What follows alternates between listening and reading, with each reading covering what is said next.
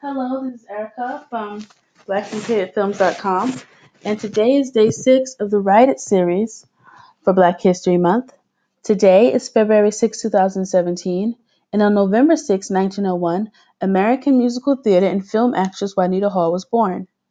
After developing her voice while singing in the local Catholic church choir, she went on to attend Juilliard School of Music in New York City. In 1950, she became the first African American to win a Tony Award for Best Supporting Actress for her role as Bloody Mary in South Pacific. Along with her role as Bloody Mary in South Pacific, she is most known for her role as Auntie Liang in the film Flower Drum Song. In addition to her movie career, she also enjoyed a long and distinguished career as a concert artist and nightclub singer. If I were to do a project about Juanita Hall, I would class, cast Sonja Sohn. I think they have very similar features. Um, their eyes are the same. They have similar foreheads, chin areas, cheeks. I think that she would be a perfect Juanita Hall. Now, a story about Juanita Hall could go in many different directions because of how dynamic and how talented she is. You could carry, um, you could have a film about her movie career.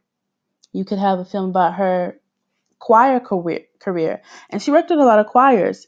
She was the director of the Works Progress Administration Choir from 1935 to 1944, or the Westchester Choral and Dramatic Association from 1941 to 1942. And she had her own choir, the Juanita Hall Choir, in 1942.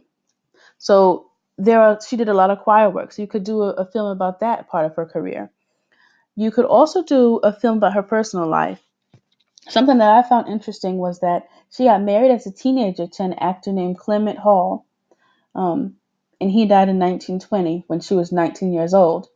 So I wonder how she ended up being married to him what their relationship was like. Um, it's very interesting to me. Why did she feel the need to get married? Also, I know that her mother died when she was just an infant, and she had to go and live with her grandmother, and that's how she found her love for music while she was living with her grandmother. So you could approach her life from the the point of view of the losses that she had and and how that might have influenced her talent as a wonderfully talented blues singer um, the loss of her mother, the loss of her husband, or something like that. I think it would be very interesting, especially because she does not have the typical look that you would expect of a glamorous vintage Hollywood 1940s actress. I think she's beautiful, but she doesn't have the look that most people think of when they think 1940s glamour, vintage Hollywood. So I think a film about Juanita Hall would be really interesting. Um, if you think it'd be interesting, leave some suggestions for how you would approach it down below and make sure you go out and write it.